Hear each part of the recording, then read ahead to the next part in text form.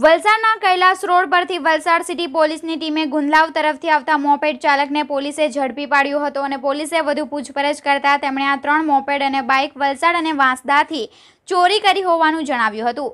Police સૂત્રો પાસેથી મળતી માહિતી મુજબ વલસાડ સીટીપીઆઈ એચ જે ભટ્ટ, પોલીસ કોન્સ્ટેબલ રાજકુમાર ઉપાધ્યક્ષ પોતાની ટીમ સાથે કૈલાસ રોડ ઔરંગા પુલ પાસે પેટ્રોલિંગમાં હતા ત્યારે ગુંદલાવ તરફથી એક મોપેડ ચાલક આવ્યો હતો.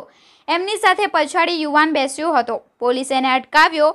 જ્યારે પોલીસે અટકાવી, એમની ગાડીના કાગળિયા માંગ્યા હતા. ત્યારે તેમના ગાડીના કાગળે ના હોય, જ્યારે પોલીસે વધુ પૂછપરછ કરતા નામઠામ પૂછતા ધરમપુર વાલોડ ફળિયામાં રહેતો જશવંતસિંહ રાકેશસિંહ રાજપૂત અને ધરમપુર ભાંભા ગામે રહેતો ધવલ સોલંકી તથા એમના સગીર વયના ભાઈ સાથે મળીને વલસાડનાની ખત્રીવાડ વલસાડ ગુંદલાવ અને વાંસદાથી બાઇક ચોરી કરી હોવાનું કબૂલ્યું હતું.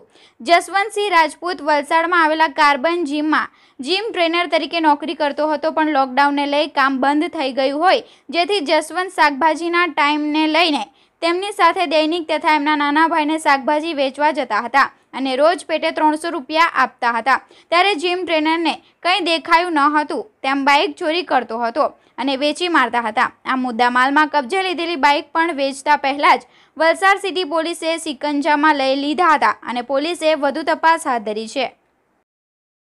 અમારી લાઈવ ન્યૂઝ ટ્વેન્ટી ફોર ચેનલને સબસ્ક્રાઇબ કરો. બેલ આઇકોન દબાવો જેથી આવનાર ન્યૂઝ અપડેટ્સની નોટિફિકેશન આપ સુધી